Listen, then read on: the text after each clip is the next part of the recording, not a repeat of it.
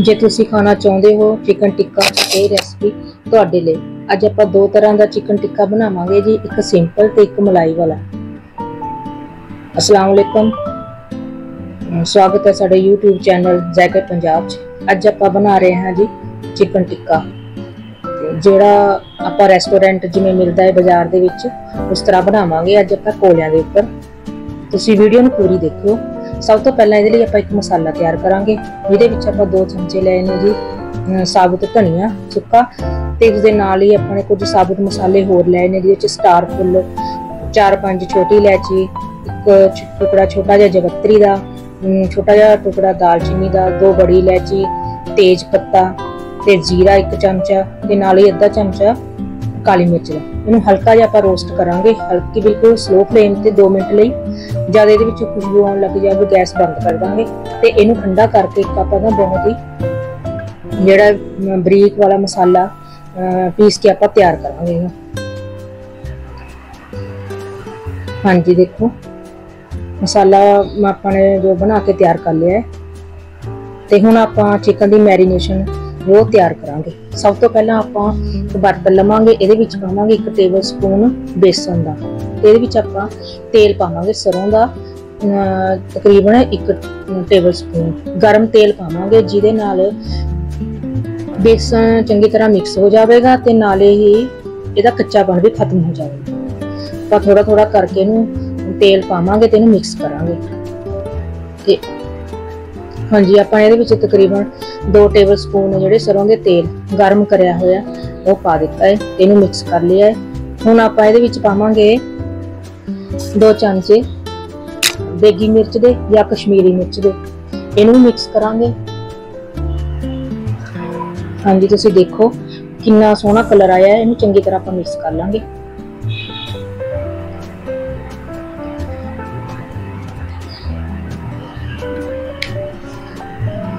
ਹੁਣ ਇਹਨੂੰ ਮਿਕਸ ਕਰ ਲਿਆ ਹੈ।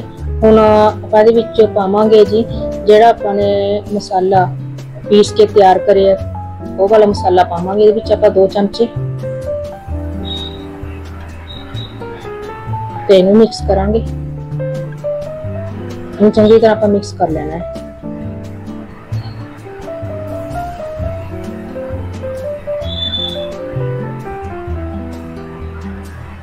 ਜੀ ਮਿਕਸ ਹੋ ਗਿਆ ਹੁਣ ਆਪਾਂ ਇਹਦੇ ਵਿੱਚ ਪਾਵਾਂਗੇ 1 ਚਮਚਾ ਆਮਚੂਰ ਦਾ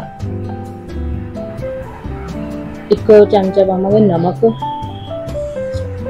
ਨਾਲ ਹੀ ਪਾਵਾਂਗੇ ਚ ਹਲਦੀ।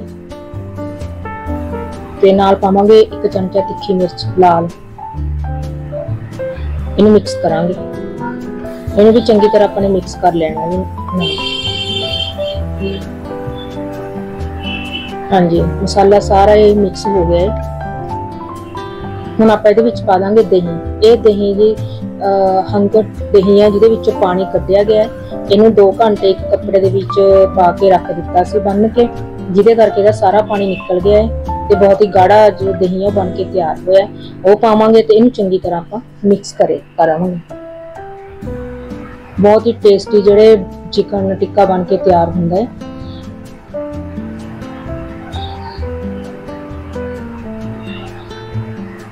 ਇਹਦੇ ਵਿੱਚ ਪਾਵਾਂਗੇ ਹੁਣ ਆਪਾਂ 2 ਚਮਚੇ ਅਦਰਕ ਲਸਣ ਦਾ ਪੇਸਟ ਤੇ ਨਾਲ ਹੀ ਆਪਾਂ ਇਹਦੇ ਵਿੱਚ ਇੱਕ ਨਿੰਬੂ ਦਾ ਰਸ ਅਹ, ਪਾਵਾਂਗੇ।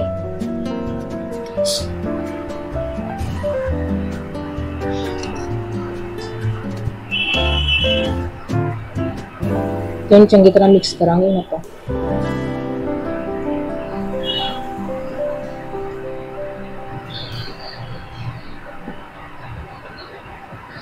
ਤੁਸੀਂ ਦੇਖ ਸਕਦੇ ਹੋ। ਜਿਹੜਾ ਮੈਰੀਨੇਸ਼ਨ ਦਾ ਜੋ ਮਸਾਲਾ ਹੈ ਬਹੁਤ ਹੀ ਵਧੀਆ ਬਣ ਕੇ ਤਿਆਰ ਹੋਇਆ ਤੇ ਬਹੁਤ ਸੋਹਣੀ ਖੁਸ਼ਬੂ ਆ ਰਹੀ ਹੈ ਇਹਦੇ ਵਿੱਚ। ਤੇ ਹੁਣ ਆਪਾਂ ਇਹਦੇ ਵਿੱਚ ਕਲਰ ਪਾ ਦਾਂਗੇ ਫੂਡ ਕਲਰ ਤਾਂ ਜੋ ਕਿ ਜਿਹੜਾ ਆਪਾਂ ਨੂੰ ਬਾਜ਼ਾਰ 'ਚ ਮਿਲਦਾ ਰੈਸਟੋਰੈਂਟ 'ਚ ਖਾਣੇ ਆਪਾਂ, ਉਸ ਤਰ੍ਹਾਂ ਦਾ ਇਹਦਾ ਕਲਰ ਆਵੇ। ਇਹ ਪਾਉਣਾ ਆਪਸ਼ਨਲ ਹੈ, ਅਗਰ ਤੁਸੀਂ ਪਾਉਣਾ ਚਾਹੋ ਤਾਂ ਪਾ ਸਕਦੇ ਹੋ। ਨਹੀਂ ਤਾਂ ਤੁਸੀਂ ਸਕਿਪ ਵੀ ਕਰ ਸਕਦੇ ਹੋ। ਹਾਂਜੀ, ਹੁਣ ਆਪਾਂ ਇਹਨੂੰ ਹੱਥ ਨਾਲ ਚੰਗੀ ਤਰ੍ਹਾਂ ਮਿਕਸ ਕਰਾਂਗੇ ਐਂਡ ਸੌਫਟ ਹੋ ਜਾਊਗਾ ਇਹ ਮਸਾਲਾ।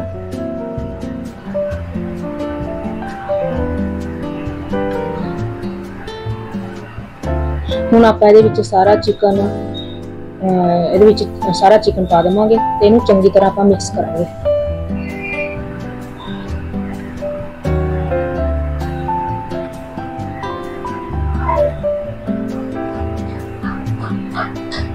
ਹੁਣ ਇਹਨੂੰ ਚੰਗੀ ਤਰ੍ਹਾਂ ਆਪਾਂ ਮਿਕਸ ਕਰਾਂਗੇ ਮੈਰੀਨੇਸ਼ਨ ਦੇ ਮਸਾਲੇ ਦੇ ਨਾਲ, ਤਾਂ ਕਿ ਇਹਦੇ ਉੱਪਰ ਐਨ ਮਸਾਜ ਕਰਾਂਗੇ, ਤਾਂ ਕਿ ਐਨ ਇਹਦੇ ਵਿੱਚ ਜਿਹੜੇ ਮਸਾਲੇ ਨੇ, ਇਹਦੇ ਵਿੱਚ ਰਚ ਜਾਣ।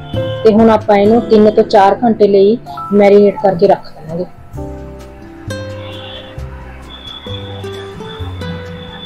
ਆਪਾਂ ਇਹਨੂੰ 3 ਤੋਂ 4 ਘੰਟੇ ਰੱਖਾਂਗੇ ਤਾਂ ਜੋ ਇਹਦਾ ਜਿਹੜਾ ਮਸਾਲਾ ਹੈ ਬਹੁਤ ਚੰਗੀ ਤਰ੍ਹਾਂ ਚਿਕਨ ਦੇ ਵਿੱਚ ਚਲਿਆ ਜਾਵੇ। ਤੁਸੀਂ ਦੇਖ ਸਕਦੇ ਹੋ। 4 ਘੰਟੇ ਹੋ ਗਏ ਨੇ। ਹੁਣ ਆਪਾਂ ਇਹਦਾ ਚਿਕਨ ਟਿੱਕਾ ਜੋ ਬਣਾ ਕੇ ਤਿਆਰ ਕਰਾਂਗੇ। ਹੁਣ ਆਪਾਂ ਇਹਨਾਂ ਨੂੰ ਅਹ, ਸਿੰਖਾਂ ਦੇ ਉੱਪਰ ਲਾਵਾਂਗੇ। ਸਿੰਖਾਂ ਦੇ ਉੱਪਰ ਲਾ ਕੇ ਪਹਿਲਾਂ ਸਿੰਖਾਂ ਦੇ ਉੱਪਰ ਲਾ ਕੇ ਤਿਆਰ ਕਰਕੇ ਰੱਖਦੇ ਆ ਇਹਨਾਂ ਨੂੰ।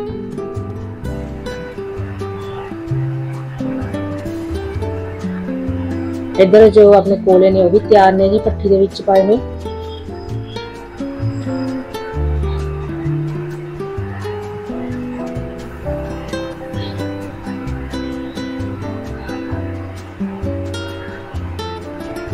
ਆਪਾਂ ਸਾਰੇ ਸਿੰਖਾਂ ਨੇ ਜੋ ਉਹ ਤਿਆਰ ਕਰਕੇ ਰੱਖ ਲਾਂਗੇ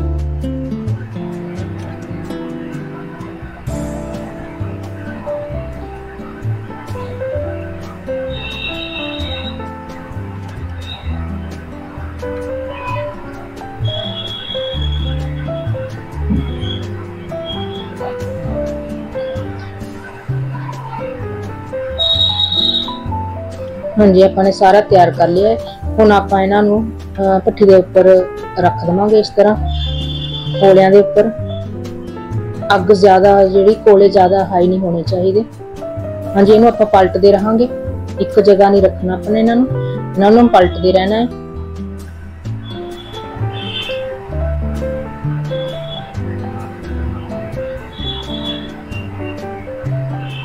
ਹਾਂਜੀ, ਇਹਨੂੰ 10-12 ਮਿੰਟ ਲੱਗ ਜਾਣਗੇ ਬਣਨ ਨੂੰ।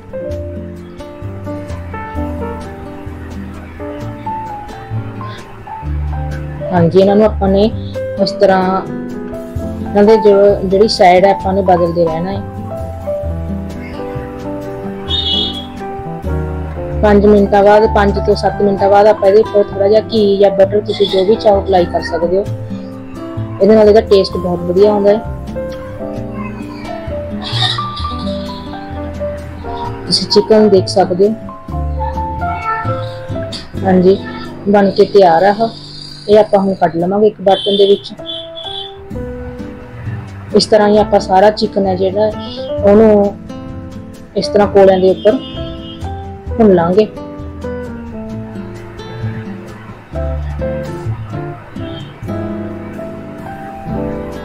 ਸਾਰਾ ਚਿਕਨ ਹੈ ਜੋ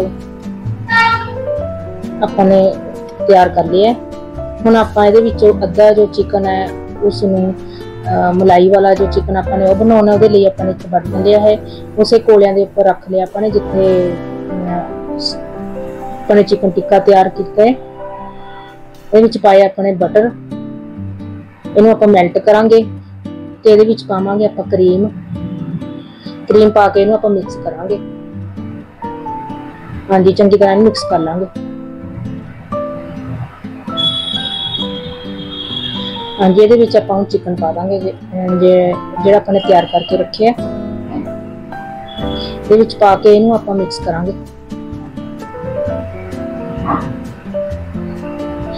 ਹਾਂਜੀ, ਬਹੁਤ ਵਧੀਆ ਬਣ ਕੇ ਤਿਆਰ ਹੋਇਆ ਹੈ ਤੁਸੀਂ ਦੇਖ ਸਕਦੇ ਹੋ, ਬਹੁਤ ਹੀ ਮਜ਼ੇਦਾਰ ਬਣਿਆ ਹੈ, ਬਹੁਤ ਹੀ ਟੇਸਟੀ ਬਣਿਆ ਤੇ ਬਹੁਤ ਹੀ ਸੋਹਣੀ ਖੁਸ਼ਬੂ ਆ ਰਹੀ ਹੈ ਇਸ ਦੀ।